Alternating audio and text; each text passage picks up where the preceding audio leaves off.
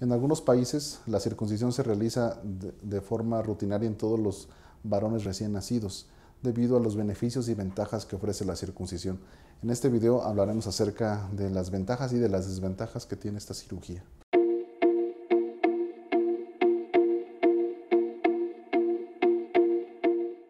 Bueno, primero vamos a hablar acerca de las ventajas y beneficios. Y el primero es la limpieza que se tiene de la zona del pene. Un pene no circuncidado no acumula humedad y no acumula suciedad en el transcurso del día. Y bueno, esto no sustituye el baño diario. También hombres que no son circuncidados pueden tener una limpieza adecuada con lavarse diariamente con agua y jabón. Otro punto es que disminuye el riesgo de contagiarse por algunas enfermedades de transmisión sexual, como por ejemplo el herpes, el virus de papiloma, la clamidia. Y en, algunos, en algunas circunstancias no solo sirve como prevención, sino también como tratamiento.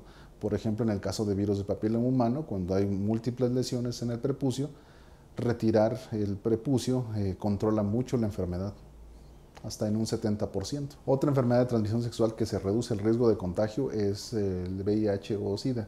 En países de África donde la tasa de SIDA es muy alta, se le realiza a todos los varones para reducir el riesgo de contagio. Reduce hasta el 60% de probabilidades de contagiarse de esta enfermedad. Otra ventaja es que quita o reduce los problemas de la piel del prepucio, por ejemplo las balanitis, las balanopostitis, la balanitis erótica y otros tipos de enfermedades que son exclusivamente de hombres no circuncidados se van a evitar al tener la circuncisión. Y como con el virus de papiloma, que la circuncisión previene y cura, también con estos problemas de la piel pasa lo mismo previenen este tipo de problemas, pero también los curan cuando se tienen en hombres no circuncidados. Otro beneficio es que ser circuncidado es un aliado eficaz contra el tratamiento y la prevención del cáncer de pene. En los países en los cuales por motivo religioso la circuncisión es parte de, todo, de que se realiza a todos los varones, eh, es donde tienen menos cáncer de pene. Cuando este procedimiento se hace en niños va a reducir el riesgo que esta enfermedad se desarrolle en la etapa adulta. Y también cuando un hombre adulto ya tiene una lesión precancerosa en el prepucio,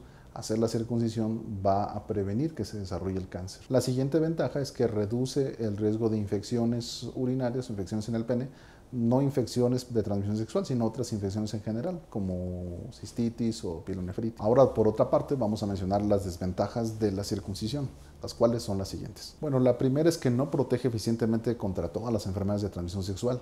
Por ejemplo, la sífilis y la gonorrea no van a cambiar el riesgo sea si, haya circuncisión o no hay circuncisión, entonces tenerla no es garantía. Otro punto en contra son los riesgos que se tienen al realizarse la circuncisión y la anestesia aplicada. Es verdad, de cada 200 pacientes solo uno va a tener una complicación, pero bueno, hay que tener presente que puede haber riesgos. Otra cosa que puede ocurrir con la circuncisión es el sangrado en los días siguientes de la cirugía, de hecho es la complicación más frecuente de la circuncisión sobre todo cuando se acerca más a la adolescencia, la adolescencia o en la edad adulta, eh, porque es un pene ya desarrollado. En bebés y niños el sangrado es raro, pero puede ocurrir. Este sangrado cuando ocurre, llega a ocurrir en los primeros días de la circuncisión, puede ser un poco aparatoso y espantarnos un poco cuando, cuando ocurre. También puede ocurrir que se infecte la herida, la herida se abra, que el cuerpo haga reacción a los puntos que se colocan o que haya una inflamación excesiva al momento de la cirugía. Otra desventaja es que se puede cerrar la, punta del meato, es decir, el conducto por donde sale la orina. Se puede hacer un poco más pequeño y eso causar ciertas incomodidades. Otra desventaja es que no va a reducir el riesgo por transmisión de, SIDA en pacientes eh, homosexuales o cuando se practica sexo anal. Otra desventaja, pues la recuperación de la cirugía puede ser un poco doloroso, eso varía con la escala de dolor de cada paciente, pero a algunos pacientes sí les puede dar mucha incomodidad. Bueno, como conclusión podemos decir que la circuncisión cuando se realiza por una indicación médica eh, bien realizada es un procedimiento seguro y con bastantes beneficios y ventajas. Y ahora que si la circuncisión la deseas hacer por preferencia personal, es bueno que conozcas los riesgos y los beneficios para que puedas ponerlo en una balanza y tomes la mejor decisión para ti o para tu hijo. Si tienes más dudas sobre este tema, háznoslo saber en tus comentarios y visita también eh, otro video que tenemos acerca de la circuncisión. También en nuestras redes sociales estaremos publicando más información acerca de este tema y de otros temas en relación a urología.